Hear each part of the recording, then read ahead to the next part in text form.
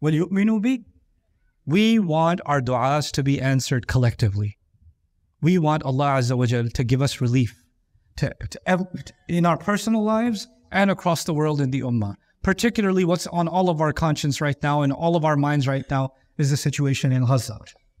And Allah Azza wa Jal give the shuhada Jannah and may Allah bring the oppressors to justice.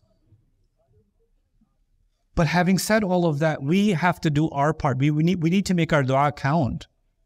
Like our dua has to have value. Our dua cannot just be words. Our dua has to live up to the condition that Allah gave us that we are celebrating. Now we're actually in a position to make real dua to Allah.